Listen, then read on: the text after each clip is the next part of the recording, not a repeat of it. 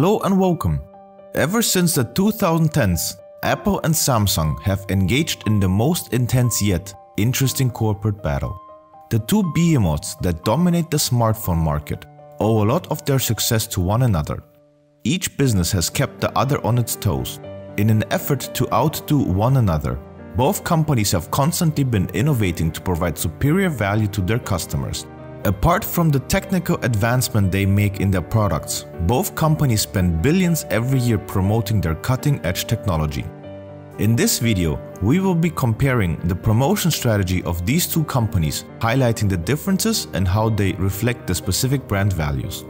Both companies produce video adverts for TV and social media channels, but the message is framed very differently. Samsung has never shied away from taking direct digs at Apple and mocking iPhone fans for their loyalty to the company. In 2017, Samsung released an ad campaign called Growing Up, showing the journey of an iPhone loyalist. He waits outside the store year after year to get his hands on the newest iPhone, only to be disappointed with each new release. In a 60 second video, Samsung points out several problems with the iPhone range lack of storage space, stylus pen incompatibility, smaller screens, lack of water resistance, wireless charging not possible. They chronicle his journey from 2007 to 2010. During this time, his girlfriend has been using Samsung Note and he secretly likes her phone better. He finally switches to a Samsung Galaxy Note in 2017. The tagline literally tells iPhone users to upgrade to Galaxy. Then in 2019 came its ingenious ad campaign, set inside an Apple store. The genius here was an Apple salesperson. The series boldly criticized Apple for ripping off its customers by telling them to buy a new accessory or part whenever they run into a problem. It points out that Galaxy S9 is better than iPhone X in terms of storage and download speed. It points out that iPhone 10 does not come with a fast charger like the Galaxy S9. Samsung also throws shade on some of iPhone X's features, such as being able to FaceTime up to 32 people at once.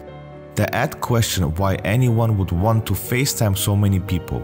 Of course, this was all pre-COVID, so the innovation was deemed pretty useless in the Samsung ad.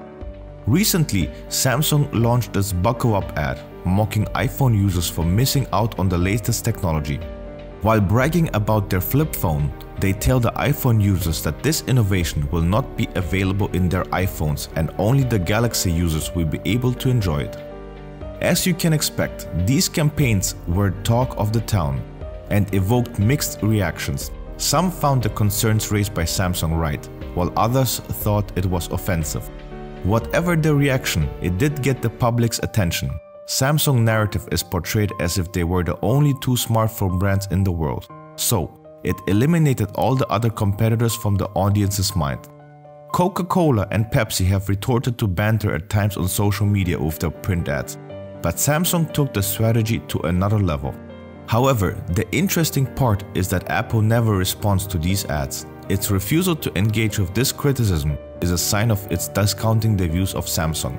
Samsung instead keeps its message minimalistic and focuses on its own features. In Apple's adverts, you can see how many frames actually focus on the sleek look and the Apple logo. The messages and the visuals are clean and crisp.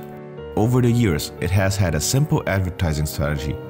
An introductory ad film of 3 to 4 minutes, then short clips focusing on the main features of the product.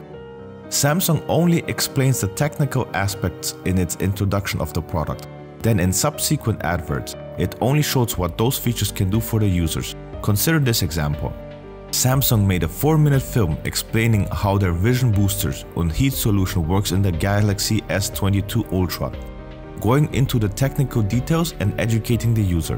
While Apple in order to introduce the cinematic mode of iPhone 13 just shot a film of it and uploaded it as an ad. Samsung and Apple both use social media influencers to promote their products. Consider the example of the Indian market. Samsung collaborates with influencers coming from all kinds of backgrounds, from established actors and sports personalities to younger content creators. When selecting content creators, they are concerned with the size of their audience and the entertainment value of the content. But in Apple's case, they only collaborate with established names in order to maintain the exclusive appeal of the brand. In India, they often partner with the movie star Shahrukh Khan, who is recognized everywhere in Asia and also happens to be one of the world's richest actors. Apple and Samsung have drastically different approaches on leveraging their social media presence. Let us consider the difference. Apple has only one Instagram account for its iPhone range. Similarly, Samsung has an account named Samsung Mobile, which features its Galaxy range of phones, tablets and watches. In addition to this, Samsung also has a different Instagram account for every country in which it sells its electronics. This gives Samsung an opportunity to tailor its messaging according to the followers in every region. The content posted on this account is also poles apart. Samsung follows the traditional strategy of using lots of hashtags and posts that include a call to action. This is why, at times, their account can feel a bit too cluttered since they are trying to sell too many devices all at once without focusing on one single feature. In the case of Apple, they have kept things very simple. You will not find any pictures of an iPhone on their account, but every picture on it has been shot on an iPhone. This is their trick. They encourage users to take photos of their iPhones and post them on social media using the hashtag shot on iPhone. Then they share these pictures on their account along with the caption posted by the users, tagging the users. Their idea is to hear the user's stories and not just sell the phone. The 26.5 million posts under the hashtag are a testament to the success of this idea. Not only are they engaging directly with their users, but in doing so, they are also telling the world just how good their camera is. If you thought Apple's Instagram strategy was overly simplistic, then it might surprise you that their Twitter strategy is even more straightforward. On their main Twitter account, they haven't yet tweeted anything. Every time they introduce a new product, they do tweet about it, but it is a sales campaign for which they pay Twitter. Although Apple's main account isn't active on Twitter, its sub-brands like Apple Support and Apple Music are. All of Samsung's Twitter accounts are active and extremely straightforward in using their followers to buy their products. This is just another instance of Apple utilizing a minimalist strategy to set itself apart from rivals and uphold a sense of mystery and exclusivity surrounding the brand. There is no clear winner in this battle as both companies have designed strategies that are consistent with their overall marketing mix and in line with their customers' expectations. Apple wants to target a niche of loyal customers, whereas Samsung wants to create smartphones for everyone.